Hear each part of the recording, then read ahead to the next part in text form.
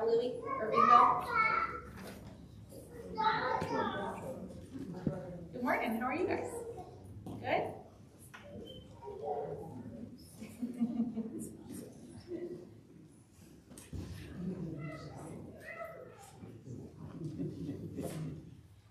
so just a couple minutes ago, we heard a story about how David from the Bible was chosen to be a king.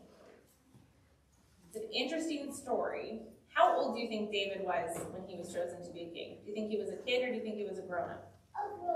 Do you think he was a grown up? Anybody else? What do you think? He was a kid. He was a kid when he was chosen to be king. So let's hear his story, okay? God said to Samuel, I have a job for you. I want you to anoint a new king. Here's what you need to do. Bring a horn filled with oil to Bethlehem and look for Jesse and all his sons. One of his sons will be the next king. Samuel was afraid that God's job was too scary. The old king was still around and he was a very mean guy. But God promised Samuel, I'll help you. So Samuel walked to Bethlehem and found Jesse. Line up all your sons and let's see who will be the next king, Samuel said to Jesse. Samuel looked at the first son, Eliab, and felt sure that God would choose him to be king. He was big and good looking, but God disagreed. Samuel was looking at the outside of Eliab, seeing how strong he looked. God was looking on the inside and did not see the right love in Eliab's heart. One by one, the sons came forward to see if they would be chosen. This one? Nope. This one? Uh-uh. This one? Don't think so. Finally, they ran out of sons. For one that is, hey buddy, can you wait to press bingo until we're done? Thank you. Jesse's son David was outside watching the sheep. They called for him. David come David came inside. He smelled a little bit like sheep. Because he was with the sheep. Do you think that smelled good? Mm-hmm. Probably So it's a little bit like sheep, but his eyes sparkled with joy and love.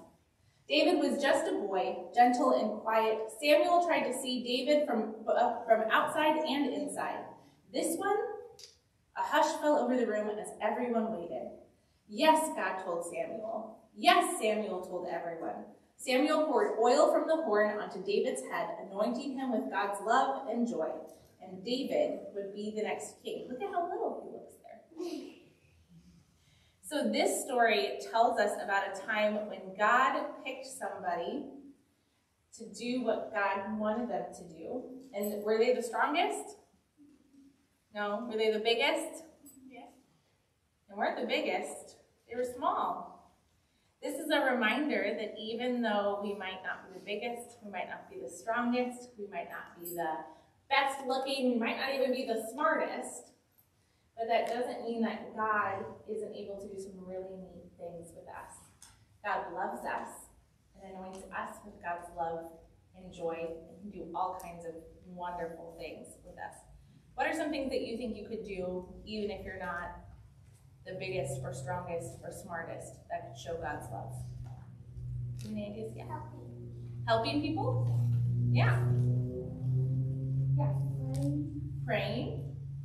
Yeah. We take care of nature. Yeah, God's creation. These are all really great things. Should we say a prayer together?